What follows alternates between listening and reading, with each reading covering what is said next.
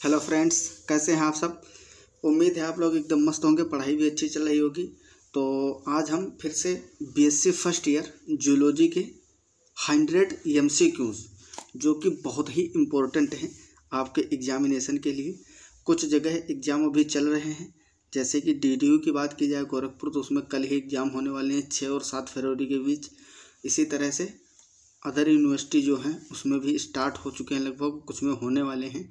तो BSc first year semester first zoology cytology और genetics के top hundred important MCQ discuss करेंगे हम लोग, जो कि आपके एग्ज़ाम के लिए बहुत ही महत्वपूर्ण है। तो आप लोग गौर से देखिएगा और याद कर लीजिएगा साथ में ही। तो जित हंड्रेड क्वेश्चन अगर आप प्रैक्टिस कर लेते हैं तो मेरा मानना है कि जितने भी चैप्टर आपके साइटोलॉजी और जेनेटिक्स के हैं, हर चैप्टर से इम्पोर्टेंट क्वेश्चन का कॉम्बिनेशन है इसमें। तो अच्छे से आपकी प्रिपरेशन हो जाएगी और आप लोग के अच्छे मार्क्स आने की पूरी संभावना है अगर इनको प्रैक्टिस करने के बाद एग्ज़ाम देने जाते हो तो। तो देखते हैं। पहला क्वेश्चन है which one of the following is an example of Y linked trait इनमें से कौन सा एक यक्ष संलग्न विशेषता का उदाहरण है? तो अगर बात की जाए, पहला है वा एच वाई एंटीजन तो एच वाई एंटीजन जो होते हैं तो किसका वाई रिप्रेजेंट भी करता है। ये वाई लिंक्ड ट्रेट है। कैसा? वाई लिंक्ड हीमोफीलिया ये एक्स लिंक होता है। एक्स लिंक ठीक है? तो इस तरह से आपका आंसर हो जाएगा पहला एच वाई एंटीजन ये वाई लिंक्ड होते हैं, ठीक है? वाई क्रोमोसोम जो होता है, उससे लिंक्ड होते हैं। Question number two who propose chromosomal theory of linkage अगर क्रोमोसोमल थ्योरी पूछ रहा है, केवल क्रोमोसोमल थ्योरी तो सटन तथा बावेरी ने किया था। अगर क्रोमोसोमल थ्योरी ऑफ़ लिंकेज पूछ रहा है, सहलग्नता के गुणसूत्री सिद्धांत का प्रस्ताव तो ये टी एच हंट मार्गन ने किया था। कौन? साइंटिस्ट थे T H Hunt Morgan and Castle इन साइंटिस्टों ने सहलग्नता दिया था, ठीक है? Question number three Tay Sachs disease caused by Tay Sachs disease जो होता है, किससे के कारण उत्पन्न होता है? तो गैंग्लियोसाइड्स होती हैं जो ब्रेन में होती हैं हमारे गैंग्लियोसाइड तो एक जी एम टू टाइप की गैंग्लियोसाइड्स होता है उसी के कारण टी सेट डिज़ीज़ कॉज होता है। ये अनुवांशिक डिज़ीज़ है, इसीलिए हम लोग जेनेटिक्स में इसको पढ़ते हैं। Question number four monosomic are अब मोनोसोमिक क्या होता है? देखो, ये चार ऑप्शन दिए हुए हैं। तो आपको थोड़ा सा एक मिनट एक मिनट भी नहीं लगेगा, जल्दी समझा देता हूँ। देखो, यन का मतलब होता है हेप्लॉइड हेप्लॉइड आपको पता ही होगा। अगुड़ित हिंदी बोले तो अगुड़ित और टू यन का मतलब डिप्लॉइड डिप्लॉइड मतलब द्विगुणित। जब बात आती है मोनोसोमी की, किसकी? मोनोसोमी और ट्राइसोमी अगर टू एन प्लस वन लिखा है द्विगुणित को प्लस वन क्रोमोसोम जोड़ दिया जा रहा है। तो इस कंडीशन को बोलते हैं ट्राइसोमी ट्राइसोमी यदि टू एन माइनस वन कर दिया जा रहा है डिप्लॉइड से एक क्रोमोसोम हटा दिया जा रहा है, इसको बोलते हैं मोनोसोमी मोनोसोमी तो एन का मतलब हेप्लॉइड अगुणित टू एन का मतलब डिप्लॉइड द्विगुणित। अगर टू एन प्लस वन है तो एक जोड़ा जा रहा है, तब ट्राइसोमी होगा। और जब एक घटाया जाएगा द्विगुणित में से डिप्लॉयड में से तो उसको बोलते हैं मोनोसोमी तो क्वेश्चन है आपका मोनोसोमिक आर तो इसमें से कौन सा राइट आंसर हो? देखो, पहला टू एन प्लस वन ये तो ट्राइसोमी है. टू एन माइनस वन मतलब मोनोसोमी तो राइट आंसर आपका ऑप्शन बी फिर है टू एन माइनस टू इसको बोलते हैं नलसोमी क्या बोलते हैं? Nullisomy two N minus two diploid में से दोनों हटा दिए, अगर दो घटा दिए तो इसको नल सोमी बोलते हैं नल सोमी, ठीक है? और ये एन हैप्लॉइड है। तो आपका monosomy two N minus one option B is right question number five if the base sequence of a segment of DNA is three dash adenine thymine guanine guanine cytosine adenine cytosine five dash then the base sequence of M R N A transcript will be देखो, ये DNA का दिया हुआ है आपको sequence अब are N ए का code पूछा है कि आर एन ए में किस तरह से ये कोड होगा। तो आपको बता दूँ एडेनिन थाइमिन से जुड़ता है। लेकिन जब आरएनए की बात की जाएगी तो इसमें थाइमिन होता नहीं आर में। इसमें थाइमिन की जगह पर होता है यूरेसिल तो एडिनिन की जगह पे क्या होना चाहिए? यूरेसिल यूरेसिल आपको देखो, इसमें दो ऑप्शन में मिल रहा है। फिर थाइमिन की जगह पे एडिनिन तो थाइमिन की जगह पर एडिनिन एडिनिन फिर गुआनिन की जगह पर साइटोसिन तो साइटोसिन साइटोसिन फिर साइटोसिन गुआनिन की जगह पर तो साइटोसिन साइटोसिन फिर है साइटोसिन तो साइटोसिन की जगह पर गुआनिन गुआनिन फिर है एडिनिन की जगह पर यूरेसिल साइटोसिन की जगह पर गुआनिन ग्वानिन लेकिन समस्या क्या है? पहला सही होगा क्योंकि इसका अगर थ्री डेज़ देखा जाए तो ये रिप्लीकेशन और इसका ट्रांसक्रिप्शन होता है उल्टा। तो थ्री डेज़ से फाइव डेज़ वाला फाइव डेज़ से थ्री डेज़ की ओर प्रति समांतर एंटी पैरेलल करेगा तो ऑप्शन ए इज़ राइट हो जाएगा। Question number six hemophilia A hemophilia के टाइप होते हैं ना हीमोफीलिया ए हीमोफीलिया बी तो hemophilia A is due to lack of इसमें किस चीज़ की कमी हो जाती है? तो इसमें क्लोटिंग फैक्टर आप लोग पढ़े होंगे, जो क्लोटिंग फैक्टर होते हैं, रक्त का थक्का जमाने वाले कारक, वो त्यारा प्रकार के होते हैं, कितने? त्यारा तो उसमें जो आठवां वाला, आठवां प्रकार होता है क्लोटिंग फैक्टर एट उसकी कमी के कारण हेमोफीलिया ए डिज़ीज़ हो जाता है तो इसका राइट आंसर हो जाएगा क्लोटिंग फैक्टर एट कैल्शियम में जो है ना, ये भी क्लोटिंग फैक्टर है एक प्रकार का, लेकिन यहाँ पे क्लोटिंग फैक्टर एट की कमी से हीमोफीलिया ए होता है। Question number seven.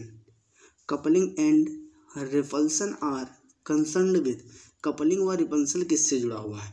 तो ये लिंकेज से जुड़ा हुआ है। किससे? सहलग्नता लिंकेज। हिंदी में बोलते हैं इसको सहलग्नता टी एच हंट मार्गन ने डोसोफिला पर, डोसोफिला मेलोगेस्टर पे किए थे बहुत ज़्यादा ज़्यादा एक्सपेरिमेंट तो कपलिंग और रिपल्सन से संबंधित किए थे लिंकेज पे सहलन, सहलग्नता पे। Question number eight which one is the example of x linked dominant gene in inheritance? निम्न में से कौन यक्स संलग्न प्रभावी जीन वंशागति का उदाहरण है? तो आपको ऑप्शन दिए हुए हैं चार। पहला है कलर ब्लाइंडनेस देखो कलर ब्लाइंडनेस यक्स लिंक्ड होता है, लेकिन ये अप्रभावी होता है। ठीक है प्रभावी डोमिनेंट नहीं रिसेसिव होता है। फिर है हाइपो फॉस्फेटेमिया तो ये आपका राइट आंसर है यक्स लिंक्ड अप्रभावी लक्षण होता है। Question number nine. Which enzyme is not found in a albino patient albinism albinism एक आनुवंशिक या जेनेटिक डिज़ीज़ है, आनुवंशिक रोग है। एल्बिनिज्म पेशेंट जो होता है, जिसमें एल्बिनिज्म कॉज है तो उसमें किस एंजाइम की कमी होती है तो टायरोसिनेज एंजाइम होता है। कौन सा? टायरोसिनेज। इसकी कमी के कारण डिज़ीज़ हो जाता है एल्बिनिज्म। ठीक है। Question number ten. Sickle cell anaemia is caused by जो सिक्कल सेल एनीमिया है, किसका? किसके कारण होती है? तो इसका ऑप्शन हो जाएगा। पहला देखिए ऑटोसोमल म्यूटेंट एलील। हाँ तो जो ऑटोसोमल जीन होते हैं, उस जीन में म्यूटेशन हो जाता है। अलील का सीक्वेंस बदल जाता है, जिसकी जगह पर ग्लूटेमिक एसिड की जगह पर वेलिन कोड हो जाता है क्या? कोड होना चाहिए ग्लूटेमिक एसिड और कोड क्या हो जाता है? वेलिन अमीनो एसिड वो रिप्लेस हो जाता है। तो ऑटोसोमल म्यूटेंट एलील के कारण ये डिज़ीज़ कॉज होता है। Question number eleven X X X O method of sex determination is found in लिंग निर्धारण का यक्स यक्स यक्स ओ तरीका किसमें पाया जाता है? तो ये इंसेक्ट में पाया जाता है। अगर बर्ड की बात करें तो इसमें जेड डब्ल्यू प्रकार का पाया जाता है, याद कर लीजिए आप लोग। और मेमल्स और फ़िश की बात की जाए तो इसमें यक्स और वाई टाइप का पाया जाता है। इंसेक्ट में यक्स ओ बर्ड में जेड डब्ल्यू मेमल्स और फिशेज में यक्स वाई टाइप का पाया जाता है। Question number twelve sex chromosomes in human males are जो पुरुषों में सेक्स क्रोमोसोम होते हैं, वो कैसे होते हैं? तो वो हेट्रोजाइगस कंडीशन होते हैं। देखो, अगर फीमेल की बात की जाए फीमेल तो इसमें कैसे होते हैं? लिंग क्रोमोसोम और जो देहिक होते हैं, सब एक्स एक्स होते हैं। और अगर मेल की बात की जाए तो इसके कैसे होते हैं? यक्स वाई जो सेक्स क्रोमोसोम होते हैं तो इसको बोलते हैं हेड्रोजाइगस हेड्रो जाइगस या एक वर्ड और यूज़ करते हैं hemizygous hemi hemizygous जो एक्स एक्स होता है, इसको बोलते हैं होमोजाइगस होमो जाइगस तो मेल की बात किया है मतलब इसमें हेट्रोजाइगस होगा। इसको देखो हिंदी में सम युग्मकता सम युग्मजी और इसको विषम युग्मजी विषम युग्मजी बोलते हैं। कई सारे हमारे ऐसे भी फ्रेंड्स होंगे बच्चे जो हिंदी मीडियम से बिलोंग करते होंगे तो उनके लिए भी थोड़ी हल हो जाएगी। तो इस तरह से देखा जाए, जो मेल होते हैं, उनके सेक्स क्रोमोसोम हेट्रोजाइगस या हेमीजाइगस होते हैं। कैसे? हेट्रोजाइगस या हेमीजाइगस तो क्वेश्चन था, इसमें ऑप्शन देखिए, पहला होमोजाइगस होमोजाइगस फीमेल में होते हैं, ये मेल में पूछा है। पैरासेंट्रिक आउटोसोमल हेमीजाइगस तो आपका राइट आंसर हो जाएगा हेमीजाइगस जो मेल है, या हेमीजाइगस या हेट्रोजाइगस होता है। Question number thirteen if haploid number of chromosomes in a cell is twelve. Haploid number of chromosomes मतलब यन की बात की जाए कितनी? यन बराबर ट्वेल्व है। फिर आगे है then the trisomic number will be अब इसमें ट्राइसोमिक नंबर पूछा है। तो आपको फार्मूला बताए थे ट्राइसोमिक का। ट्राइसोमी जो थी, वो था टू एन प्लस वन आपको एन बराबर दिया गया है ट्वेल्व। तो यहाँ पे पुट करेंगे। दो गुड़े बारह प्लस वन तो बारह दूनी चौबीस एक पच्चीस तो आपका आंसर आएगा पच्चीस ट्राइसोमी। यन दिया है अगुड़ित हेप्लॉइड बारह हैं, और ये सूत्र होता है ट्राइसोमी का। तो यहाँ पे बारह पुट करोगे ट्वेल्व तो बारह दूनी चौबीस एक पच्चीस तो आपका राइट आंसर हो जाएगा twenty five. Question number fourteen. Mendel use which of the following term for what we call a gene today जिसको मेंडल ने पहले, जिसको हम लोग आज की डेट में जीन बोलते हैं, उसको मेंडल ने अपने समय में क्या बोला था? तो उन्होंने फैक्टर, कारक नाम यूज़ किया था। क्या? फैक्टर नाम। ये तो आप लोगों को पता ही होगा, जनरली बहुत ही इजी क्वेश्चन है। क्वेश्चन नंबर फिफ्टीन देखो, ऐसे ही इजी क्वेश्चन ही पूछे जाते हैं। बहुत टफ भी नहीं होते हैं। मान के चलो दस परसेंट, दस से पंद्रह परसेंट क्वेश्चन थोड़ा घुमा के पूछेगा, बाकी आसान ही वन लाइनर पूछेगा ऐसे ही। The double helix model of Watson, जो वाटसन और क्रिक ने 1953 में या 52 भी कहीं कहीं लिखा मिल जाएगा, जो प्रपोज किया था double helix model of DNA, वो कौन सा था? जेड डीएनए का E DNA, B DNA, G DNA, gene.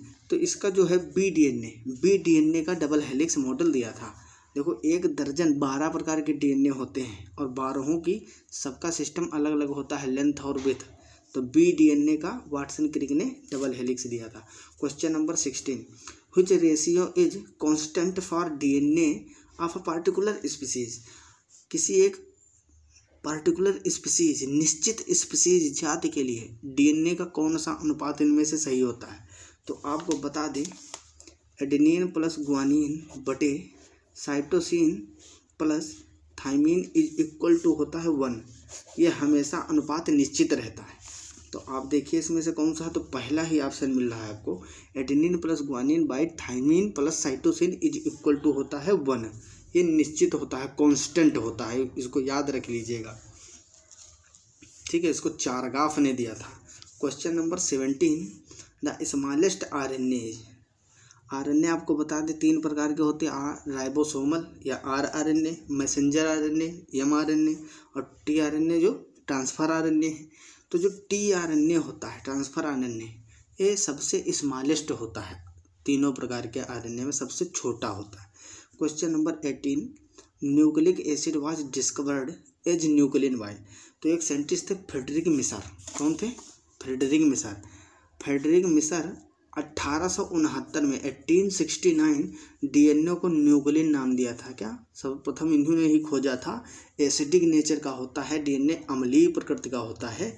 इसको न्यूक्लिन नाम दिया था फ्रेडरिक मिसर ने। तो option C is right answer.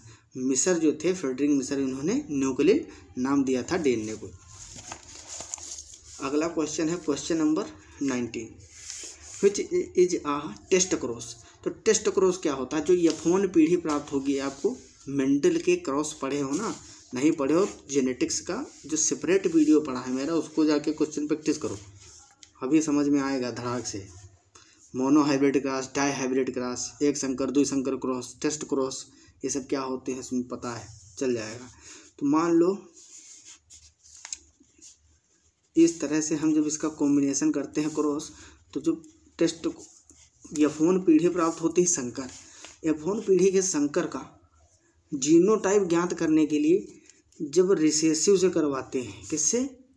Homozygous recessive से। तो इसको बोलते हैं टेस्ट क्रॉस। मतलब यफोन पीढ़ी का क्रॉस किससे कराएँगे? होमोजाइगस या होमो हाँ होमोजाइगस रिसेसिव से कराते हैं। तो इसको बोलते हैं टेस्ट क्रॉस। क्या बोलते हैं? टेस्ट क्रॉस या इसको बोलते हैं परीक्षण। परीक्षण परीक्षण संकर बोलते हैं, संकरण, या परीक्षार्थ संकरण, ठीक है? तो टेस्ट क्रॉस जब भी पूछा जाए तो इसमें एक जोड़ा पहले तुम रिसेसिव ढूंढ लेना, दोनों इस्माल हों जिसमें। देखो इसमें भी नहीं, इसमें भी इसमें भी।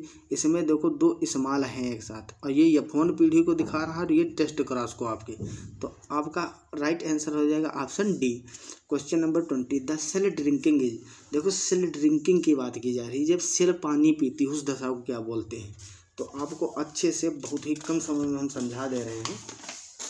तो जितने भी इवेंट हैं अगर एग्जोसाइटोसिस की बात की जाए, मान लो ये है सेल, ठीक है? और इस सेल से क्या हुआ? थोड़ा सा पार्ट बाहर निकल गया। इससे थोड़ा सा पार्ट बाहर निकल गया। इसको बोलते हैं एग्जो साइटोसिस एग्जो साइटोसिस मतलब बाहर निकल रहा है इसमें से कुछ। फिर है अगला है पिनोसाइटोस हाँ तो पिनोसाइटोसिस जो होता है, इसी को कहते हैं सेल ड्रिंकिंग प्रोसेस, पानी पीने की दशा।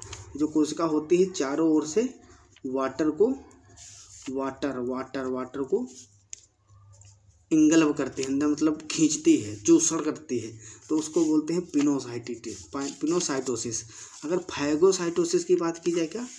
फैगोसाइटोसिस फैगोसाइटोसिस तो इसका मतलब होता है भक्षण, क्या? भक्षण। ये है सेल यहाँ पे बैक्टीरिया था तो इसने बैक्टीरिया को इंगल्व किया। क्या किया? इस तरह से इस बैक्टीरिया को क्या करेगा? धीरे धीरे अंदर पहुँचा दिया बैक्टीरिया को। बैक्टीरिया बाहर था, उसको अंदर किया इसको बोलते फैगोसाइटोसिस या एक होता है इंडोसाइटोसिस इंडो साइटोसिस बहुत इंपॉर्टेंट है, सब पूछा जा सकता है। तो यहाँ पे क्वेश्चन था आपका द सेल ड्रिंकिंग इज़ तो पिनोसाइटोसिस को बोलते हैं। ये फिनोमिना जो होती है cell drinking pinocytosis question number twenty one commonly known as suicidal bag of the cell तो आत्महत्या की थैली जो होती है, लाइसोसोम होती है, बचपन से पढ़ते आ रहे हो, लाइसोसोम ऐसे हैं जो कुछ विपरीत समयों में अपने आप पे ही, खुद पे ही आक्रमण कर देते हैं, इसलिए इसको सुसाइडल बैग कहते हैं।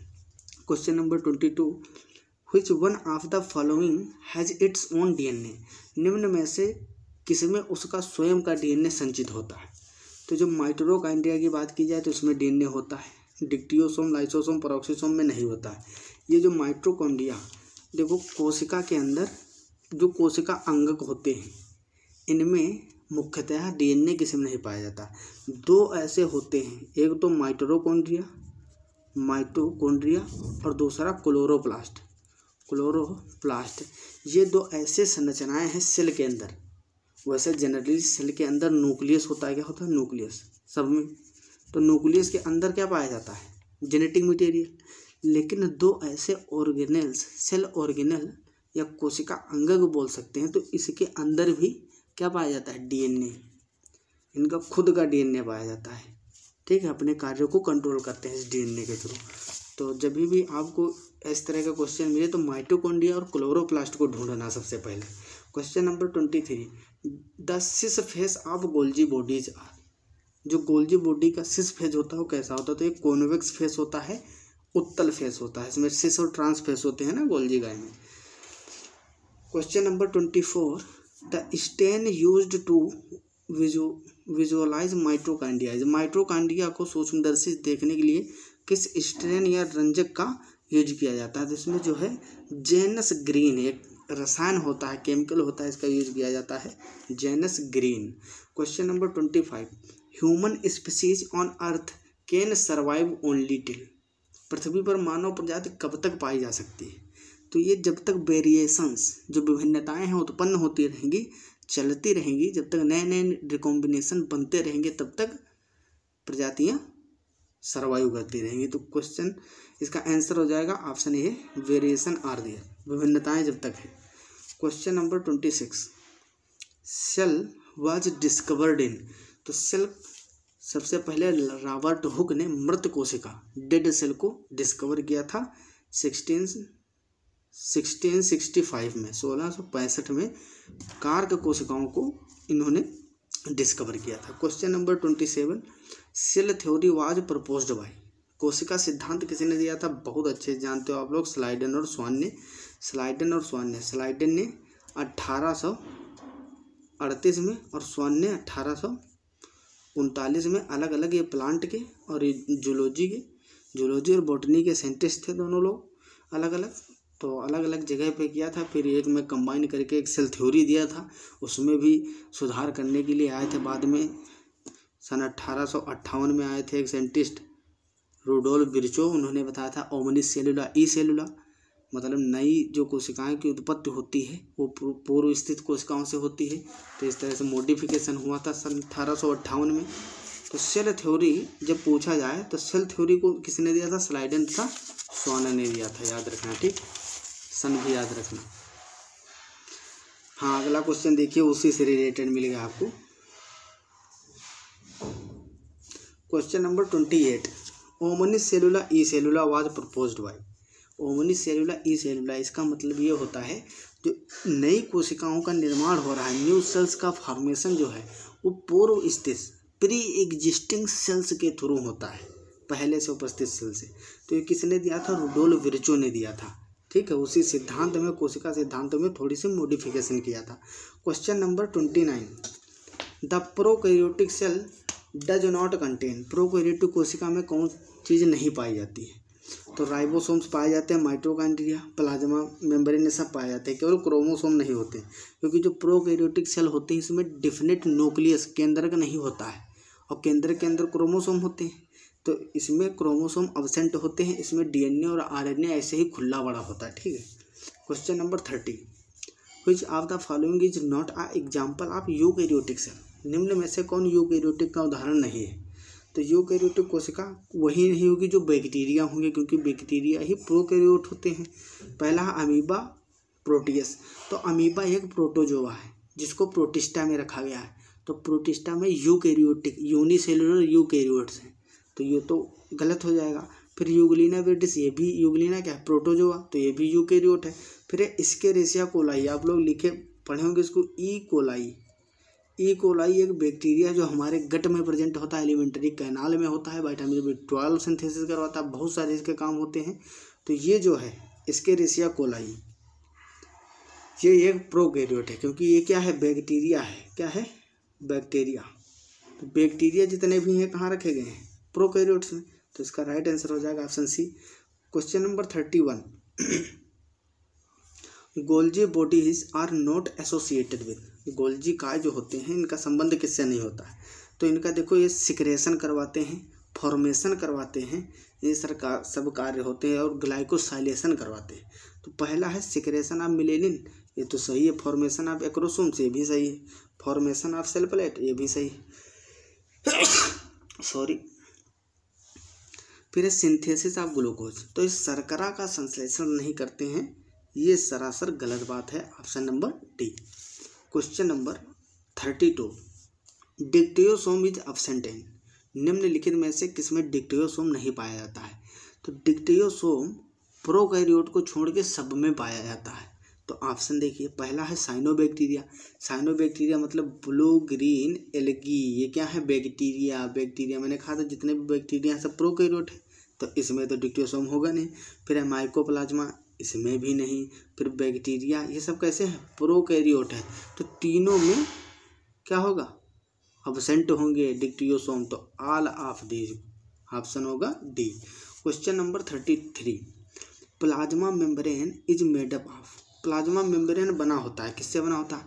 तो आप लोग डबल है। जो इसका डबल मेम्ब्रेन स्ट्रक्चर है, आप लोग पढ़े ही होंगे प्लाज्मा मेम्ब्रेन का। तो इसमें क्या होते हैं?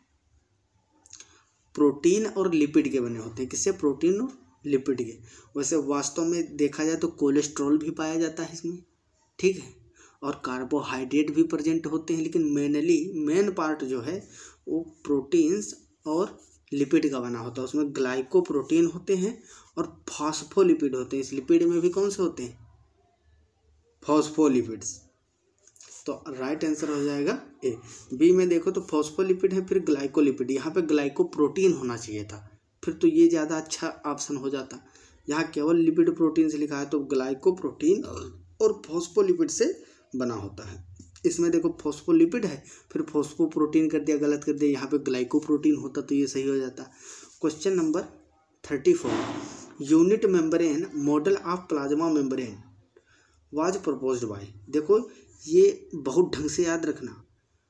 जो फ्लूड मोजेक मॉडल था, उसको स्लाइडन और स्वान ने दिया था, लेकिन जो यूनिट मेम्ब्रेन मॉडल था प्लाज्मा मेम्ब्रेन का यूनिट मेम्ब्रेन मॉडल इसको रॉबर्टसन ने दिया था। किसने? रॉबर्टसन ने। जब फ्लूड मोजेक बोझेगा तो उसको स्लाइडन और स्वान ने दिया था। और फ्लूड मोजेक मॉडल में जो सुधार किया गया था, वो किसने किया था? रुडोल बिरचो ने। और जो यूनिट मेम्ब्रेन मॉडल था, इसको रॉबर्टसन ने दिया था। तो सारी चीज़ें याद रखेंगे। ऐसे ही क्वेश्चन मिलने वाले हैं आपको। डी के जो छात्र हैं, उनको कल ही, शायद कल एग्ज़ाम है उनका छः और सात फरवरी में है। क्वेश्चन नंबर अगला है thirty five according to fluid mosaic model the plasma membrane present fluid mosaic model के अनुसार प्लाज्मा मेम्ब्रेन होता है।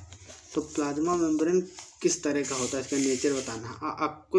Quasi fluid quasi fluid structure होता है, पोलर स्ट्रक्चर होता है, लेमेलर स्ट्रक्चर होता है, यूनिट मेम्ब्रेन स्ट्रक्चर होता है तो इसका एक्वस फ्लूड स्ट्रक्चर होता है। Question number thirty six, cell membrane is cell membrane होती है। तो देखो, सेल मेम्ब्रेन कैसी होती है, इसका नेचर होता है सेलेक्टिव परमेबल कुछ चीज़ों को सेलेक्टिव चीज़ों को अंदर और बाहर जाने देती है, बाकी चीज़ों को, बाकी चीज़ों के लिए इम्परमेबल होती है। तो इसलिए सेलेक्टिव पदार्थों को आने जाने देगी सिलेक्टिव मोलिक्यूल्स को तो उसको बोलेंगे सिलेक्टिव परमिएबल हिंदी में बोले तो अर्ध पारगम्य। तो option B is the right answer आप लोग इसको अच्छे से पढ़ लीजिए। जितने डीडीयू के छात्र हैं, इसको देख रहे हैं तो वो तो हंड्रेड परसेंट इसको करके जाएँ, क्योंकि आप लोगों को जब एग्ज़ाम दोगे एग्ज़ाम में बैठोगे तो खुद पता चलेगा कि सारे क्वेश्चन भरमार के यहीं से इसी से रिलेटेड पूछे जा रहे हैं। अगला क्वेश्चन है question number thirty six seven cellular respiration takes place in कोशिकीय श्वसन कहाँ होता है? तो आप लोग नाइन्थ से पढ़ते आ रहे हैं कि कोशिकीय श्वसन माइट्रोकांड्रिया में होता है। माइट्रोकांड्रिया में भी कहाँ होता है? देखो, इस तरह से माइट्रोकांड्रिया होता है।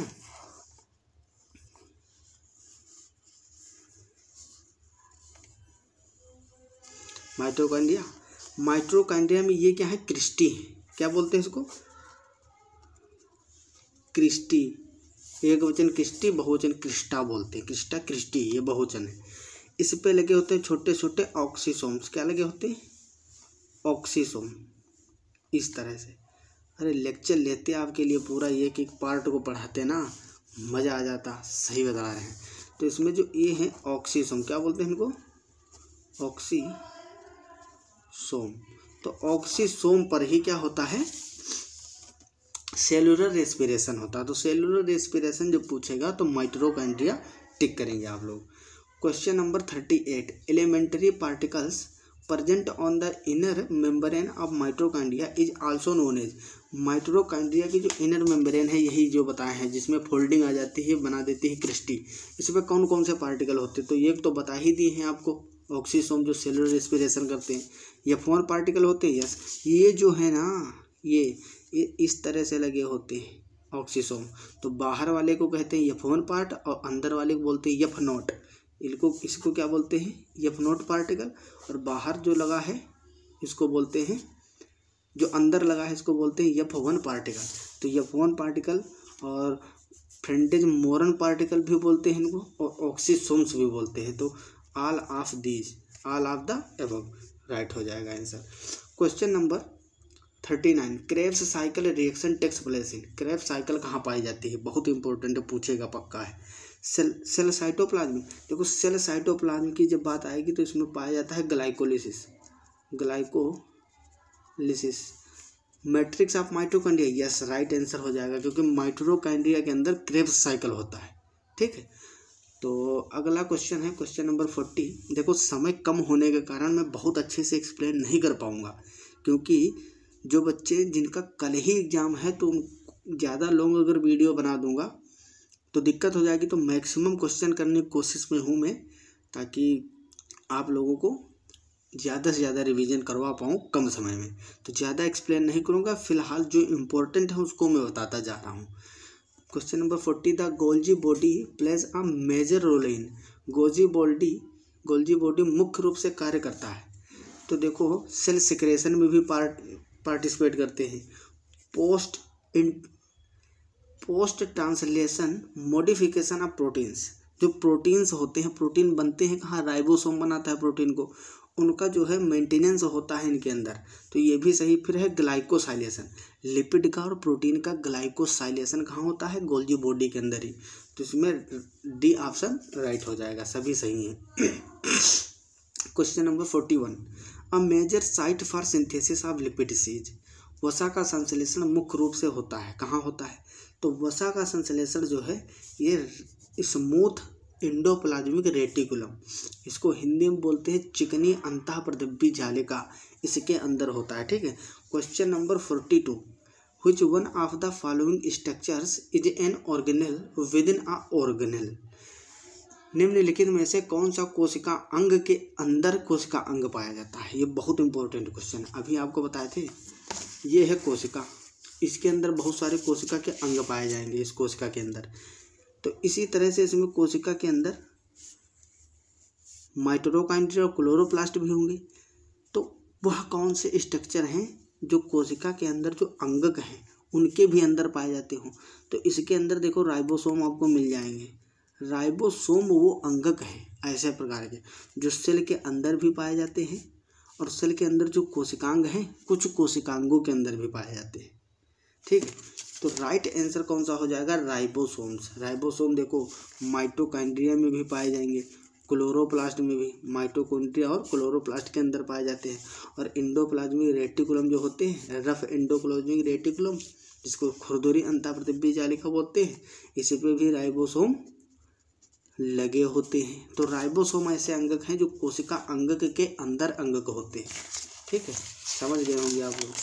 Question number forty three the two subunit of ribosome remain united at a critical ion level of जो राइबोसोम्स देखो राइबोसोम्स टू यूनिट से मिलकर बनी होती है। सेवेंटी एस में thirty S plus fifty S मिलता है। जब thirty S plus fifty S मिलता है तो बनता है सेवेंटी एस अब आप लोग इसको सम करने लगते हैं फिफ्टी और थर्टी एट्टी हुआ, लेकिन ये बना कैसा? सेवेंटी तो इसको याद रखिएगा, ठीक है? जब फिफ्टी और थर्टी जब सम जितना सम आए, उससे टेन घटा के फिर देखेंगे तो राइट आंसर आएगा, ठीक है? तो ये दोनों यूनिट किसके थ्रू जुड़ी होती है? एक क्रिटिकल आयन कौन सा होता है? मैग्नीशियम आयन के थ्रू मैग्नीशियम आपको बता दें मैग्नीशियम आयन और कहाँ जुड़ा होता है? क्लोरोफिल के स्ट्रक्चर में। अगर बात की जाए आयरन की तो ये हीमोग्लोबिन में होता है, ये भाई आयरन, ठीक है? और बात की जाए अगर cyanocobalamin, vitamin B twelve, vitamin B twelve, इसका दूसरा नाम होता है साइनो कोबालेमिन तो इसमें कोबाल्ट कोबाल्ट होता है ना, कोबाल्ट होता है क्रिटिकल आयन तो इस तरह से आप लोग याद रखेंगे, राइबोसोम में मैग्नीशियम टू प्लस होता है M G two plus M G two plus ion ठीक है? Question number forty four ribosomes are produced in ribosome कहाँ बनाए जाते हैं? तो ये न्यूक्लियस न्यूक्लियोलस में बनाए जाते हैं, केंद्रिका। हिंदी में क्या बोलते हैं? केंद्रिका। ये सेल है सेल के अंदर न्यूक्लियस होता है न्यूक्लियस के अंदर क्या? न्यूक्लियोलस होता है। दिस इज़ द सेल ये है न्यूक्लियस न्यूक्लियस केंद्रक बोलते हैं इसको, केंद्रक, और इसके अंदर होता है न्यूक्लियोलस। न्यूक्लियोलस। इस केंद्रिका के अंदर आरएनए और प्रोटीन, राइबोजाइम राइबोजाइम, इन सब का संश्लेषण होता है न्यूक्लियोलस केंद्रिका के अंदर। किसके अंदर? केंद्रिका के अंदर, ठीक है? तो इसका राइट आंसर हो जाएगा न्यूक्लियोलस, राइबोसोम का प्रोडक्शन न्यूक्लियोलस के अंदर होता है। अगला क्वेश्चन है question number forty five nucleus is enveloped by केंद्र कितनी झिल्लियों से घिरा होता है? तो ये एकल झिल्ली सिंगल मेम्ब्रेन से ढका होता है। Question number forty six important site for formation of glycoproteins and glycolipids जब ग्लाइको की बात आए तो एक गोल्जी बॉडी लगा दो। जहाँ देखो ग्लाइको ग्लाइको गोल्जी एक जैसा है ना? खाली प्रोटीन का सिंथेसिस कहाँ होता है? प्रोटीन का सिंथेसिस होता है जब सीधा प्रोटीन पूछे। तब राइबोसोम में होता है। लेकिन जब ग्लाइकोप्रोटीन पूछे तो गोल्जी बॉडी होता क्या है? देखो, राइबोसोम में बनेंगे प्रोटीन वो प्रोटीन जाएँगे गोल्जी बॉडी वहाँ होगा उनका ग्लाइकोसाइलेशन। तब बोलेंगे उनको ग्लाइकोप्रोटीन। इसी तरह से लिपिड का संश्लेषण होता है इंडोप्लाज्मिक रेटिकुलम में। जब वो गोल्जी बॉडी में जाएँगे तो उनका ग्लाइकोसाइलेशन होगा, बन जाएँगे ग्लाइकोलिपिड। तो आपको जब क्लास कभी लेंगे तो डिटेल में पढ़ाएँगे किस तरह से प्रोसेस चलते हैं अभी को याद कर लीजिए। ग्लाइको शब्द मिल जाए, बस सीधा गालजी बाडी ठोक देना, ठीक है? एग्ज़ाम में क्वेश्चन में छोड़ गया ना सारे ट्रिक दे रहा हूँ। Question number forty seven mitochondria is not found in mitochondria किसमें नहीं पाया जाता है? तो लीवर सेल में डेफिनेटली पाया जाएगा। नर्व सेल में भी होगा मसल सेल में भी होगा, लेकिन मेच्योर आरबीसी जो होती है मेच्योर आरबीसी में ना तो इसमें न्यूक्लियस होगा। क्या होगा? न्यूक्लियस अबसेंट होगा और माइट्रोकाइंड्रिया माइट्रोकोन्ड्रिया भी ये दोनों चीज़ें अबसेंट होती हैं। क्या होती है? अबसेंट क्योंकि मेच्योर आरबीसी जो होती है, इसमें ठसा ठस हीमोग्लोबिन भरा होता है पूरा हंड्रेड परसेंट कोट कोट के। क्योंकि लाल रुधिर कणिकाएँ जो आर बी सीज हैं रेड ब्लू सेल्स इनका काम होता है ऑक्सीजन ट्रांसपोर्ट तो इनमें केवल हीमोग्लोबिन ठसाठस भरा होता है, ठीक है, याद रखना। Question number forty eight mitosis was discovered by mitosis की खोज किसने की थी? तो डब्लू फ्लेमिंग ने किया था। देखो, फ्लेमिंग डब्लू भी याद रखना, क्योंकि ई फ्लेमिंग भी थे एक साइंटिस्ट लेकिन डब्लू फ्लेमिंग जो है इन्होंने माइटोसिस डिस्कवर्ड किया था, समसूत्री विभाजन। Question number forty nine in mitosis the centromere divides and chromatids are separated during ये बता रहा है कि इस तरह से क्रोमोसोम अपोजिट पोल में कब टूट के सेंट्रोमियर का विभाजन होता है और यहाँ से टूट के अपोजिट पोल की ओर जाते हैं। तो याद करिए एना फ़ेज़ को। एना फ़ेज़ में क्या होता है? अपोजिट पोल की ओर जाते हैं। सेंट्रोमियर का विभाजन क्रोमेटिड का अलगाव होता है। ठीक है सेपरेशन होता है। इसको देखने के लिए अगर आपके पास समय है, अभी समय है, आप लोग साइटोलॉजी के जो थोड़ा देखो इंटू टू पे इंटू टू पे स्पीड करके अभी सारे लेक्चर आप मेरे देख सकते हो। पंद्रह लेक्चर साइटोलॉजी के ऑलरेडी अपलोडेड है। उसको आप लोग इंटू टू स्पीड में करके कई बार कई बार देखोगे। इसको भी दो बार देख लो। पेपर देने जाने से पहले दो तीन बार रिवाइज कर लो। ताकि अच्छे से याद हो जाए, ठीक है? तो इसका आंसर हो जाएगा anaphase question number fifty the net gain of energy from one gram mole of glucose during aerobic respiration aerobic श्वसन में एक ग्राम ग्लूकोज से कितनी ऊर्जा मिलती है? तो इसमें बता दें आपको, छत्तीस से अड़तीस ए मिलता है। छत्तीस से अड़तीस ए लेकिन इस तरह से घुमा के पूछेगा, आप देखना। दो एटीपी गलत हो गया, चार एटीपी गलत, तीस ए गलत, फोर्टी ए टी लिखा है तो फोर्टी किसके नियर का है? बहुत नज़दीक है अड़तीस के। तो एरोबिक में अड़तीस ए बनता है। अगर अड़तीस ना दे के चालीस दिया है तो भी टिक करोगे। छत्तीस से चालीस के बीच में मिल रहा ठोक दोगे, ठीक है? Question number fifty one synapsis takes place at which of the following stage synapsis निम्नलिखित किस अवस्था में होती है? तो सिनेप्सिस होता क्या है? The pairing of homologous chromosome इसी को बोलते हैं सिनेप्सिस का। इज़ कॉल्ड सिनेप्सिस तो सिनेप्सिस जाइगोटीन में होता है। मियोसिस फ़र्स्ट के प्रोफेज फ़र्स्ट में। मियोसिस फ़र्स्ट की प्रोफेज फ़र्स्ट में होता है जाइगोटीन क्या होता है? जाइगोटीन स्टेज आता है। सेकेंड नंबर पर इससे पहले आता है लेप्टोटीन फिर जाइगोटीन इसी में होता है क्या? सिनेप्सिस होता है। सिनेप्सिस क्या होता है? सिनेप्सिस तो याद रखेंगे सिनेप्सिन जाइगोटीन में होता बहुत इंपॉर्टेंट है। साइटोलॉजी के देख लीजिए आप लोग जाके, अगर अच्छे से क्लियर नहीं है कंसेप्ट तो जिसने देखा होगा उसको समझ में आ रहा होगा। फिर अगला क्वेश्चन है इंड प्रोडक्ट ऑफ़ ग्लाइकोलिसिस तो ग्लाइकोलिसिस क्या होता है? ग्लाइकोलिसिस में ग्लूकोज है। ग्लूकोज का कराओगे ग्लाइकोलिसिस ग्लाइकोलाइसिस टेन स्टेप में होता है। कुछ चीज़ें याद कर लीजिए जो मैन है। टेन स्टेप में होता है। हर स्टेप में अलग अलग प्रकार के एंजाइम काम करते हैं और एक ग्लूकोज से एक मोल ग्लूकोज ग्लाइकोलिसिस के बाद दो मोल पायरुविक एसिड बनाता है। पायरुविक एसिड बनता है। ये पायरुविक एसिड क्रेप्स चक्र में जाता है किसमें?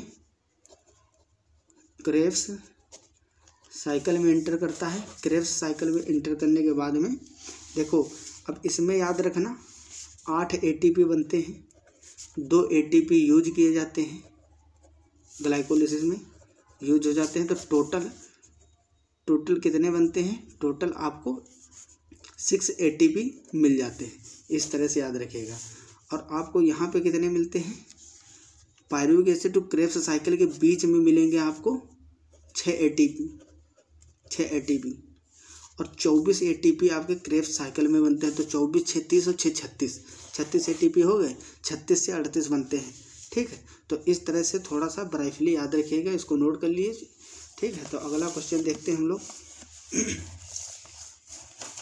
तो इसका आंसर हो जाएगा पायरुक एसिड ग्लाइकोलिसिस का एंड प्रोडक्ट होता है pyruvic acid question number fifty three haemophilia occurs during haemophilia निम्न कारण से होता है। देखो ये एक्स सहलग्न डिज़ीज़ है यक्स लिंग लिंक क्रोमोसोमल डिज़ीज़ है तो म्यूटेशन होता है यक्स क्रोमोसोम पे। म्यूटेशन ऑन यक्स क्रोमोसोम्स इसके कारण डिज़ीज़ होता है haemophilia. Question number fifty four the possible blood group of children born to parents having A cross A B groups are. देखो, पेरेंट का ब्लड ग्रुप क्या है? ए cross A B लिखा है। यहाँ पे केवल ए लिखा है, इसका मान के चलेंगे हम, आई होगा। यहाँ पे क्या होगा? आई आई रिसेसिव होता है, ये डोमिनेंट होता है। तो इसमें एक कॉम्बिनेशन बनेगा ए आई का।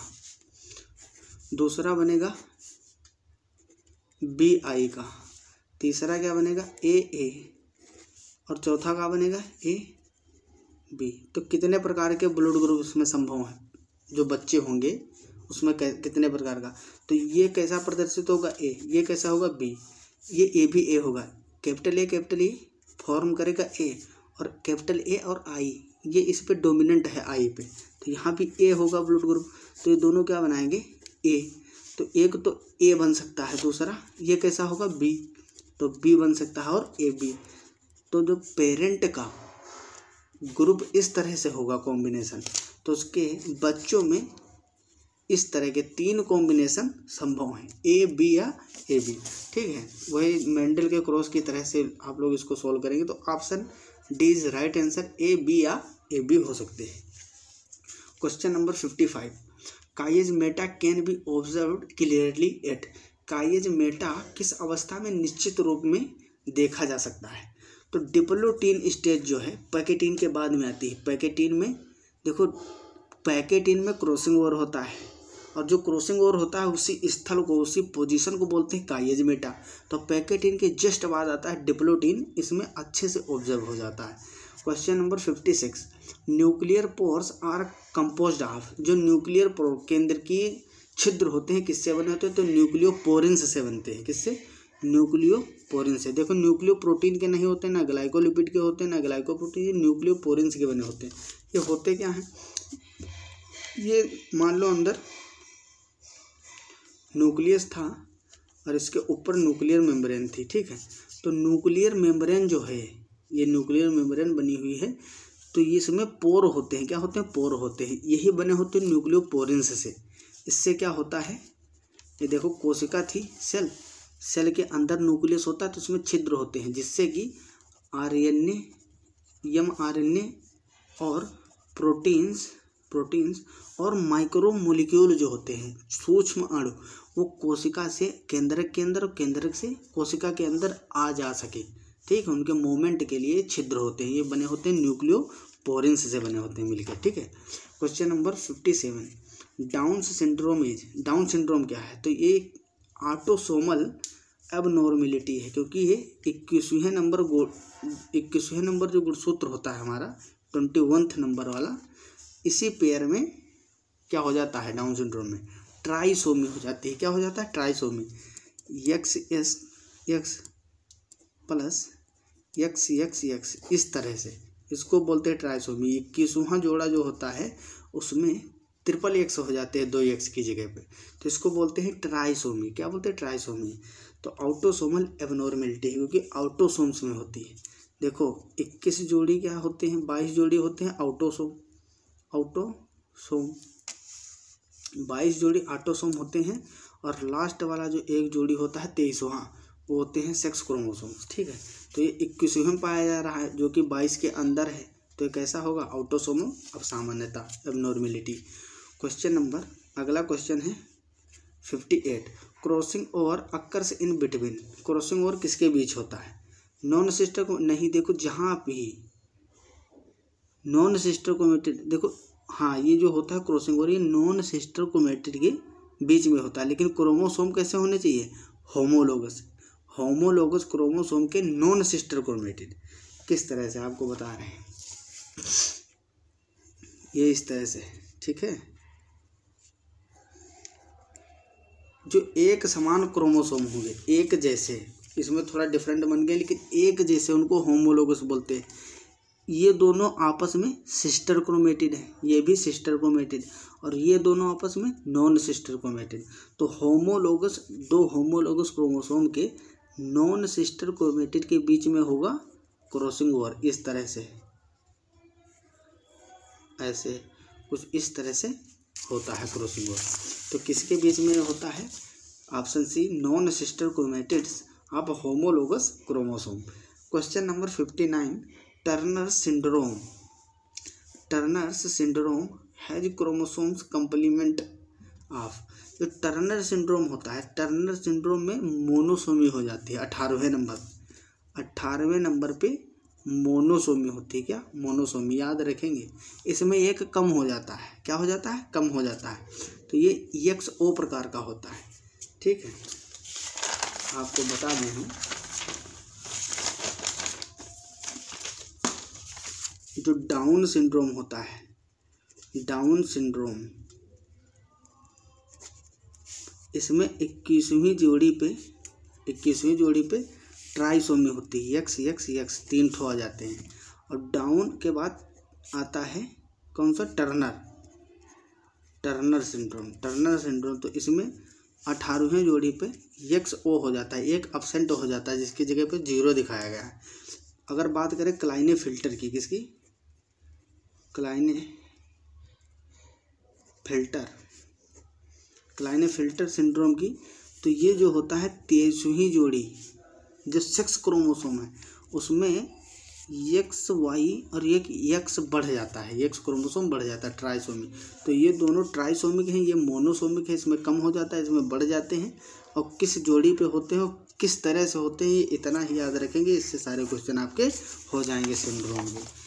ठीक है तो इसमें यक्स ओ हो जाता है, किसमें? टर्नर सिंड्रोम में। Question number sixty meiosis is the kind of cell division in which अर्धसूत्री विभाजन ऐसा होता है जिसमें सेल डिवाइड्स ट्विस हाँ दो बार डिवाइड करती है। सेल डिवाइड्स ट्वाइस ये तो दो बार डिवाइड करती ही इसमें तभी तो चार बनती है सर फिर अगला ऑप्शन है क्रोमोसोम्स डिवाइड वंस हाँ ये भी सही है। क्रोमोसोम एक बार केवल कब डिवाइड होते हैं? म्योसिस फ़र्स्ट में और जो सेल है, वो दो बार डिवाइड होती है, ठीक है?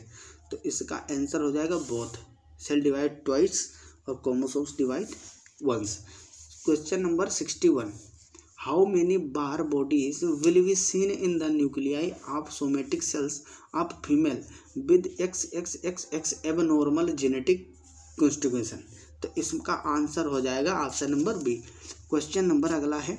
Sixty two Klinefelter's syndrome is तो अभी बताए थे, जो लास्ट जोड़ी होती है यक्स एक्स वाई होती है ना? ट्राइसोमी हो जाती है क्लाइने फ़िल्टर में। Question number thirty sixty third sixty three cri du chat cri du chat ये सिंड्रोम होता है एक इज़ काउज्ड बाई ये किससे काउज होता है? तो इसमें जो है डिलीशन हो जाता है। किसका? नंबर का डिलीशन होता है। जो कोडोन्स होते हैं, उनका एमिनो एसिड कोडोन्स का डिलीशन हो जाता है। जिससे क्राइडोचेट सिंड्रोम उत्पन्न हो जाता है। Question number sixty four the sugar in a D N as D N A की शुगर कैसी होती? तो पाँच कार्बन वाली होती पेंटो शुगर होती टू डी डी ऑक्सीराइबोज होती, ये भी सही है। तो both option is correct question number sixty five the number of chromosomes after meiotic division first in meiosis अर्धसूत्री विभाजन में अर्धसूत्री विभाजन फ़र्स्ट के बाद गुणसूत्रों की संख्या हाँ तो फ़र्स्ट में ही क्रोमोसोम डिवाइड करते हैं हाफ़ हो जाते हैं ना तो बी कम्स हाफ़ जो ब्यूसिस फ़र्स्ट होता है, उसमें क्रोमोसोम आधे हो जाते हैं और मियोसिस सेकंड में केवल सेल डिवाइड करती है, क्रोमोसोम नहीं डिवाइड करते हैं, ठीक है? Question number sixty six double helical structure of DNA was given by DNA के डबल हेलिकल संरचना को किसने दिया था? तो वाटसन और क्रिक ने उन्नीस सौ तिरपन में, सन उन्नीस सौ तिरपन कहीं कहीं लिखा मिलेगा, उन्नीस सौ बावन, ठीक है, उन्नीस सौ तिरपन में। वाटसन और क्रिक ने डबल हेलिक्स मॉडल दिया था, कौन सा डीएनए का? B DNA. काफ़ी इंपॉर्टेंट क्वेश्चन है। Question number sixty seven seventy S ribosomes is made up of अभी बताए थे इससे पहले थर्टी एस और फिफ्टी एस जिसका सम करते हो एट्टी दस घटा दो सेवेंटी तो सेवेंटी एस प्रकार बनते हैं thirty S and fifty S सभी यूनिट से। इसमें कौन सा क्रिटिकल आयन होता है? राइबोसोम्स में यमजी ही टू प्लस सारी चीज़ें रिवाइज करते रहिए।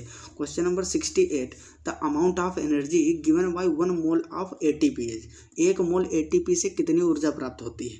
तो seven point three kilo calorie energy प्राप्त होती है, एक मोल ए टी पी से। Question number sixty nine in glycolysis during dehydrogenation electrons are accepted by तो इलेक्ट्रॉन्स जो साइटोक्रोम्स होते हैं N A D F A D इन, इनसे जो है ग्लाइकोलिसिस में डिहाइड्रोजिस डिहाइड्रोजिनेशन के समय इलेक्ट्रॉन स्वीकार किए जाते हैं। तो इसमें देखो ए टी पी नहीं ए टी पी का काम ऊर्जा वाला है जी ए पी गैप ये भी नहीं N A D nicotinamide adenine dinucleotide, इसका नाम होता है, याद रख लीजिए। Nicotinamide adenine dinucleotide. जब आपको सेकंड सेमेस्टर पढ़ाएँगे, उसमें बायोकेमिस्ट्री पढ़ाएँगे तो बायोकेमिस्ट्री में आपको बताएँगे कि एनएडी क्या होता है। एकदम डिटेल में पूरा लेक्चर एक आएगा एनएडीपी और ये फेर D pair flavin adenine dinucleotide nicotinamide adenine dinucleotide, ये सब क्या होते हैं, ठीक है? तो इसको अभी तक याद कर लीजिए कि इलेक्ट्रॉनों का वहन करते हैं ग्लाइकोलिसिस में। Question number seventy, active transport, सक्रिय परिवहन क्या होता है? इसमें एनर्जी की रिक्वायरमेंट होती है। एक्टिव परिवहन में, ठीक है? Active transport question number seventy one sodium potassium ion dependent A T P H active helps in transport of तो इसमें यह बताना है कि कौन सा आयन अंदर जाता है, कौन बाहर जाता है। तो आप लोग जनरली जानते ही हो potassium inward and sodium outward तीन सोडियम बाहर जाते हैं, इस तरह से सेल बना होगा। तो इसमें से तीन सोडियम प्लस एक बार में बाहर जाएँगे और दो सोडियम जो है, दो पोटेशियम प्लस अंदर आएँगे, ठीक है? अंदर। तो यही होता है सोडियम पोटेशियम पंप। यही पूछ रहा है। Question number seventy two. The repeating units in a long DNA polymer are. The repeating units in a long DNA polymer are. एक लंबे डीएनए पॉलीमर में बार बार दोहराया जाने वाली इकाई है। तो डीएनए की बात की जाए तो इसमें बार बार कौन सा दोहराया जाता है? न्यूक्लियोटाइड्स। कौन? न्यूक्लियोटाइड। जो डीएनए होता है तो न्यूक्लियोटाइड से मिलकर बना होता है। देखो, इस तरह से एक शुगर हो गई।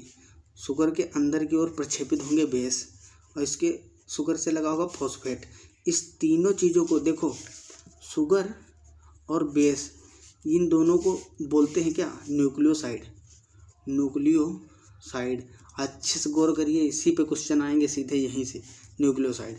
और जब तीनों चीज़ें, इसमें फॉस्फेट भी जब जुड़ जाएगा, तब इसको बोलते हैं न्यूक्लियोटाइड। न्यूक्लियोटाइड। तो जो डीएनए होता है, वो इसी न्यूक्लियोटाइड की यूनिट का रिपीटिंग होता है ना?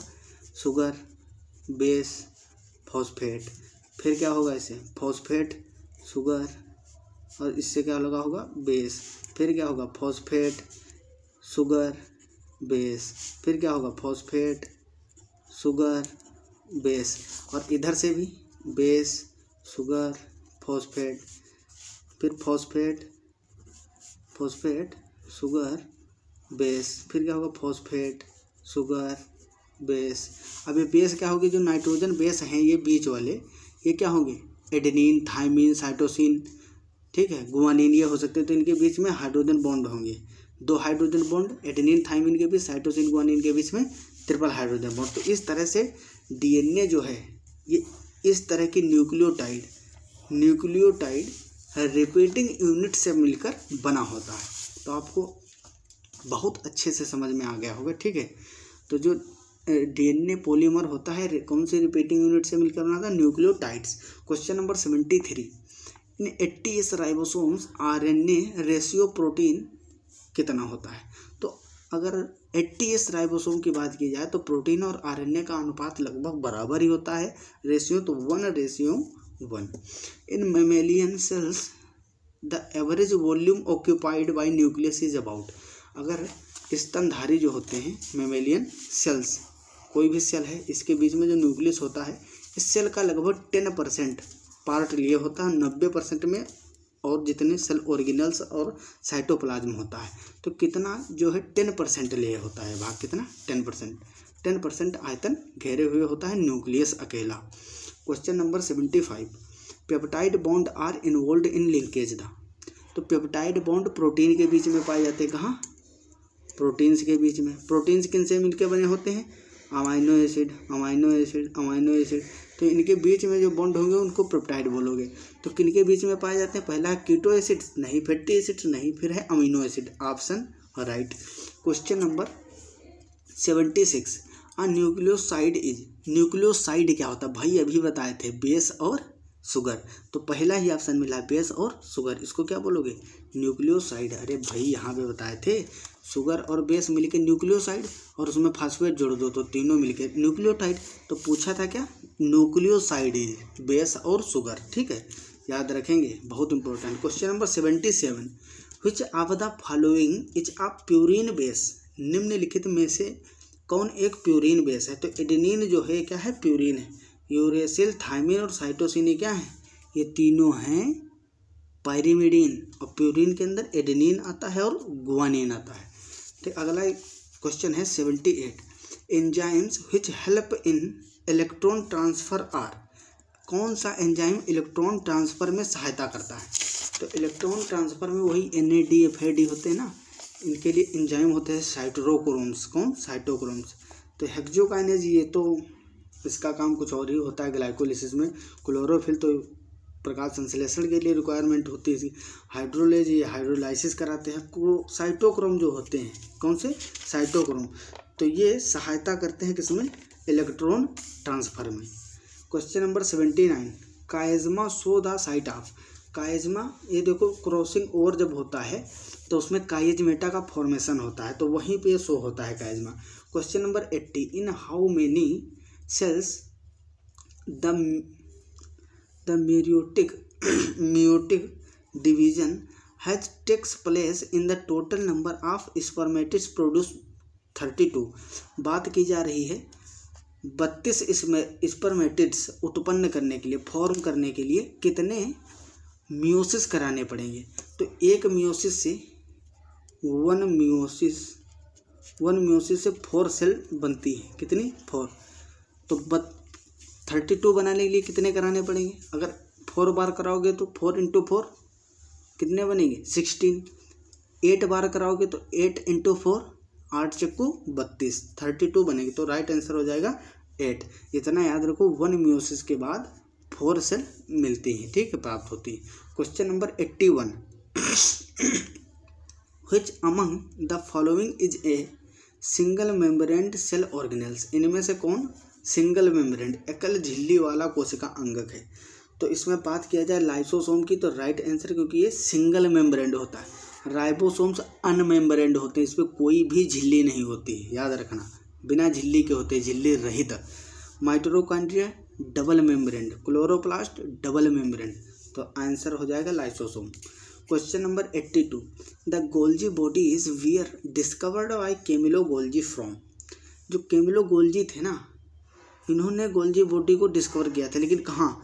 तो पुरकिंजे सेल्स जो होती हैं ना, पुरकिंजे सेल्स उनमें ढूंढा था, याद रखना, ठीक है? बहुत पूछता है question question number eighty three the haploid set of chromosomes is called as chromosomes के हेप्लॉइड सेट को क्या कहते हैं?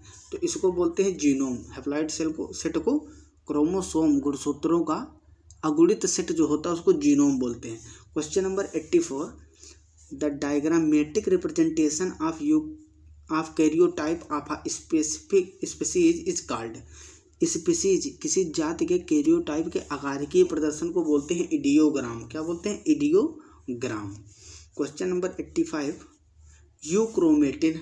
Euchromatin क्या होते हैं? देखो, यूक्रोमेटिन क्या होते हैं? हम लोग देखते थे कि क्रोमेटिन फाइबर दो प्रकार के होते हैं। उसको जो अभिरंजित करते हैं डाइस के थ्रू रंजिक के थ्रू तो कुछ हल्के रंजित होते हैं, कुछ बहुत ज़्यादा हो जाते हैं तो उसके आधार पर डिफ्रेंशिएट करते हैं ना तो ये जो होते हैं यूक्रोमेटिन ये हल्के रंजित होते हैं लाइटली स्टेंड होते हैं। इज़ जेनेटिकली एक्टिव हाँ ये आनुवंशिक रूप से सक्रिय होते हैं। फिर है इज़ लाइटली स्टैंड हाँ ये बहुत हल्के स्टैंड होते हैं। अगला है इज़ पार्शियली कंडेंस्ड ये बहुत कम संघनित होते हैं, ये भी सही है। तो all of the above euchromatin के लिए सारी बातें सही लिखी हैं। Question number eighty six, a double standard D DNA has thirty percent thymine. ये न्यूमेरिकल वे से बहुत आसान है। थर्टी परसेंट क्या दिया है? डीएनए की बात की जा रही है थर्टी परसेंट थाइमिन है उसमें। थर्टी परसेंट क्या है? थाइमिन। और then percentage of cytosine cytosine को पूछा है, साइटोसिन को पूछा है। थाइम थाइमिन दिया है। कोई भी डीएनए की बात की जाए जब, डीएनए तो इसमें थाइमिन हमेशा किससे जुड़ता है? एडिनिन से। थाइमिन परसेंटेज दिया है, थर्टी परसेंट। तो जब थर्टी परसेंट थाइमिन है तो जितने थाइमिन होंगे, उतने एडिनिन होंगे, क्योंकि हर थाइमिन एडिनिन से जुड़ा हुआ होगा। खाली थाइमिन तो मिलेगा नहीं, पेयरिंग होती है इसमें। तो थाइमिन जब थर्टी परसेंट है तो एडिनिन भी कितना होगा? Thirty percent. Total hundred percent में से सिक्सटी परसेंट पार्ट बन गया थाइमिन और एडेनिन से। कितना? माइनस सिक्सटी परसेंट बचा फोर्टी परसेंट। मतलब फोर्टी परसेंट में होंगे साइटोसिन और गुआनिन आपको कौन सा पूछा है? Cytosine. Percentage of cytosine is तो ये फोर्टी परसेंट जो बचा है, इसमें ट्वेंटी परसेंट आपका साइटोसिन और ट्वेंटी परसेंट गुआनिन होगा। अच्छे से समझ में आया? थाइमिन थर्टी परसेंट दिया है। थाइमिन हमेशा एडेनिन से जुड़ा रहता है तो जितने ये होंगे, उतने ये होंगे, थर्टी थर्टी परसेंट। तो टोटल बना दिए सिक्सटी परसेंट। बचा जो forty percent part of DNA, ये किससे मिलके बना हुआ? साइटोसिन और गुआनिन से। तो ये भी बराबर मात्रा में होंगे, ट्वेंटी ट्वेंटी परसेंट। तो right answer is option B, twenty percent. Question number eighty seven. I hope आप लोगों को बहुत अच्छे समझ में आ गया होगा ये। अगर है mitochondria are indeed indeed site of cellular respiration was confirmed by. वस्तुतः माइट्रोकांडिया में माइट्रोकांडिया में ही कोशिकीय श्वसन होता है, निश्चित रूप से किसने कहा था? तो एक साइंटिस्ट थे, एक नहीं, कई सारे मिल के बताए थे। ये देखिए, ऑप्शन नंबर डी होबो स्नीडर और पैलेट। इन तीनों ने मिलकर बताया था कि सेलुलर रेस्पिरेशन है जो माइट्रोकांडिया के अंदर ही होता है। Question number eighty eight. Holandric genes are तो होलेंड्रिक जीन्स जो वाई लिंक्ड होते हैं वाई से संबंधित, ठीक है जीन? मेल में प्रेजेंट होता है ना ये Y Y link Y gene? तो ये क्रोमोसोम जो वाई क्रोमोसोम से वाई लिंक्ड जीन्स होते हैं, वो क्या होते हैं? Holandric genes. Question number eighty nine a process a process by which DNA of nucleus passes genetic information to M R N A वह कौन सा प्रोसेस है जो डीएनए से सूचना आरएनए में जाती है एम आरएनए तो जो डीएनए है, इससे यम आरएनए जब बनता है, यम आरएनए इस प्रोसेस को बोलते हैं ट्रांसक्रिप्शन ट्रांस क्रिप्शन क्या बोलते हैं ट्रांसक्रिप्शन तो राइट आंसर कौन हो जाएगा? Option number B transcription question number ninety an allele is एक अलील क्या होता है? तो ये अल्टरनेटिव फॉर्म होते हैं जीन के, ठीक? है इस तरह से दो जीन लिखे हुए हैं, कैपिटल टी कैपिटल टी। तो ये एक दूसरे के अलील हैं, या इस तरह से लिखे हुए हैं। तो ये एक दूसरे के अलील हैं। Alter alternative form of gene तो option number B is correct alternative form of the same gene ठीक है, एक ही जीन के, एक ही लक्षण को, एक ही कैरेक्टर को कंट्रोल करने वाले जीन के जो अलग अलग रूप होते हैं अलग अलग फॉर्म्स होते हैं, उसको बोलते हैं alleles question number ninety one. The number of nucleotide pairs per turn in B D जो बी डी एन ए होता है, इसके एक हेलिकल में, पूरे एक हेलिक्स में कितने टर्न पाए जाते हैं? तो इसमें टेन टर्न होते हैं, ठीक है? Question number ninety two. The areas of nuclear membrane giving rise to endoplasmic reticulum are called. केंद्रक आवरण का क्षेत्र जिससे ई e आर का निर्माण होता है, उसको क्या कहा जाता है?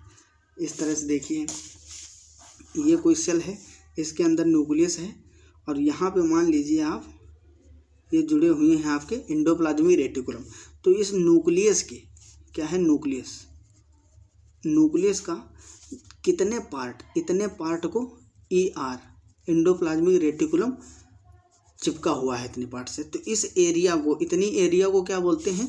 इसको बोलते हैं नीरन एरिया क्या बोलते हैं? नेबर कर्ण एरिया, क्योंकि ये साइंटिस्ट थे एक, नेबर कर्ण। इन्होंने ही इसको सर्वप्रथम डिस्कवर किया था कि ये जो इंडोप्लाज्मिक रेटिकुलम होते हैं न्यूक्लियस से चिपके हुए होते हैं। Question number ninety three the gene which makes the expression of other gene is called उस जीन को क्या कहते हैं जो दूसरे जीन के एक्सप्रेशन को छिपा देता है? दो जीन एक साथ प्रेजेंट हैं। एक जीन दूसरे पर प्रभावी हो गया तो उस तरह से एक को एक्सप्रेस होने देगा एक डिप्रेस हो जाएगा। तो उसको बोलते हैं इपीस्टेटिक जीन्स क्या बोलते हैं? Epistatic gene question number ninety four in Z DNA one complete turn of helix देखो बी डीएनए की बात की जाएगी। जब बी डीएनए तो उसमें कंप्लीट टर्न होता है चौंतीस एंगेस्ट्रॉम का। कितना?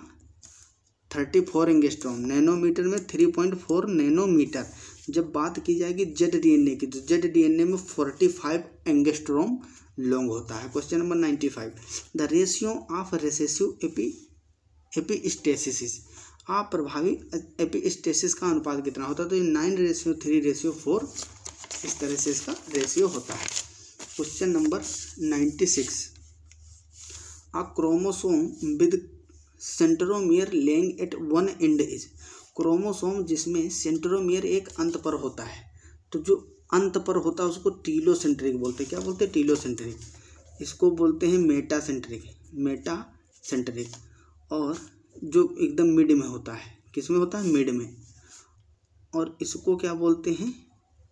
सब मेटा सेंट्रिक सब मेटा सेंट्रिक और जो इस तरह से होता है हल्का सा पार्ट रह जाता है बस ऊपर। इसको बोलते हैं एक्रोसेंट्रिक एक्रोसेंट्रिक और जिसमें सीधा टॉप पे आ जाता है सेंट्रोमियर इसको बोलते हैं टीलो सेंट्रिक किसको? टीलो सेंट्रिक जब टॉप पे आ जाए सेंट्रोमियर और एक ऐसा होता है जिसमें सेंट्रोमियर अपसेंट होता है, होता ही नहीं। इसको बोलते हैं ए सेंट्रिक क्या बोलते हैं? ए सेंट्रिक जब मिड में होगा सेंट्रोमियर मेटासेंट्रिक हल्का ऊपर बढ़ जाएगा, सब मेटासेंट्रिक बहुत ऊपर बढ़ जाएगा एक्रोसेंट्रिक एकदम टॉप पे जाएगा टेलोसेंट्रिक अबसेंट रहेगा एसेंट्रिक क्वेश्चन है, आप chromosome with centromere Laing at one end मतलब टॉप पे वाली बात है तो टीलो सेंट्रिक हो जाएगा। Question number ninety seven the largest human chromosome is approximately मानव कोशिका में सबसे लंबा गुणसूत्र कितना होता है? तो two forty nine million base pair long सबसे मैक्सिमम लेंथ वाला अभी तक मिला है। ठीक है तो आप लोगों के कष्ट जो है अभी मिटने वाले हैं। दो चार क्वेश्चन ही रह गए हैं, थोड़ी सी तसल्ली और बनाए रखें। Question number ninety eight the core particle of nucleosome is made up of following stones तो आपको बता दें, जो पहला ऑप्शन है H one H two A H two B H three यही चार प्रोटीन मिलके जो हिस्टोन का कोर बनाती हैं। और ये हाँ यही चार प्रोटीन, लेकिन ये जो एच वन होती है, हल्का बाहर की बाहर की ओर प्रक्षेपित होता है। इन्हीं से मिलकर न्यूक्लिक हिस्टोन ऑक्टेट फॉर्म होता है। Question number ninety nine, Balbiani rings are found in. Balbiani rings ये लेम्पब्रुस क्रोमोसोम्स पे पाई जाती हैं। काफ़ी इंपॉर्टेंट क्वेश्चन है, ठीक है? आप लोग अच्छे से इसको याद कर लेंगे। Question number hundred, branch of science which deals with the improvement of human race genetically is called विज्ञान की उस शाखा को क्या कहते हैं, जो जेनेटिक आधार पर मानव जाति के विकास से संबंधित इसको बोलते हैं यूजेनिक्स क्या बोलते हैं? यूजेनिक्स काफ़ी इंपॉर्टेंट क्वेश्चन तो आप लोगों को पता ही होगा कि हम भी आपके लिए काफ़ी मेहनत करते हैं, क्योंकि इतने सारे क्वेश्चन करवाने में काफ़ी टाइम भी लगता है एक लेक्चर को शूट करने में, लगभग तीन से चार घंटे लग जाते हैं, ठीक है? और जब इससे भी ज़्यादा समय लग जाता है तो हमारा आपका प्यारा सा channel B S C world, Amar Singh. Amar Singh, जिस पे कि आप ये लेक्चर देख रहे हैं, इसको आप लोग लाइक शेयर एंड सब्सक्राइब पक्का कर देना। बेल आइकन भी दबा देना, आप तक सारी वीडियो मेरी पहुँचती रहेंगी नोटिफिकेशन आएगा, ठीक है? और अपने दोस्तों के पास, जिन, उनके पास भी शेयर कर देना ताकि उनकी भी हेल्प हो सके। तो आप लोग अच्छे से पढ़ाई करते रहें। जिसका कल एग्ज़ाम है या परसों है, या बाद में होने वाला है, मेरी ढेर सारी बधाइयाँ आपके साथ हैं, ठीक है? अच्छे से एग्ज़ाम आपका हो जाएगा। अगर आप पूरे क्वेश्चन ये देखते हैं, बहुत कम बच्चे होते हैं जो पूरा लेक्चर देखते हैं खेल खेल में ऐसे ही गंवा देते हैं, सोचते हैं दस बीस क्वेश्चन कर लिए, काफ़ी है देखो। जब हम इतनी मेहनत आपके लिए कर रहे हैं तो आपको तो पढ़ना ही है भाई। किसमें, एज में हो आप, उस एज में और क्या करो, पढ़ाई ही तो है तुम्हारे लिए सबसे इम्पोर्टेंट तो अच्छे से पढ़ाई करते रहो। मिलते हैं अगली क्लास में, अगले लेक्चर के साथ, और तब तक के लिए ओके, बाय।